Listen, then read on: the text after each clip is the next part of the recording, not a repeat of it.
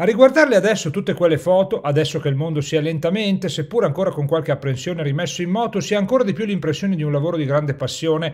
Il fotografo è anche un po' psicologo, spiega Antonella Pizzamiglio, ed è stata lei, assieme alla collega di sempre Barbara Sereni e ad Arte Studio, a presentare il primo regalo concreto giunto da Ripartenza, il volume presentato la scorsa primavera che associa foto di commercianti con la mascherina, affiancate da scatti degli stessi commercianti in tenuta da lavoro e finalmente sorridenti, finalmente in ripartenza. I primi 1000 euro frutto dei proventi della vendita del libro sono stati consegnati ad Annise Grandi dell'associazione MIA, Movimento Incontro Ascolto, che da sempre lotta contro la violenza sulle donne. Abbiamo passato un anno dove non ci potevamo vedere, dove non potevamo entrare nei negozi, dove non potevamo fare niente e a novembre dell'anno scorso in un mio sogno, parlando con Barbara, abbiamo deciso di fare questo libro. Questo libro perché? Perché volevamo incontrarci, rincontrarci e poterci passare delle emozioni.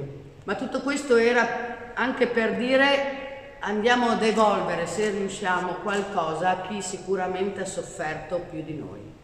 La vendita del libro avevamo dichiarato che sarebbe andata in beneficenza, ne abbiamo venduti e facciamo la prima beneficenza appunto all'associazione MIA, perché abbiamo scelto loro? Innanzitutto ve lo dico subito, perché l'idea è partita da delle donne e abbiamo anche degli uomini, ma dalle donne vogliamo partire con le donne.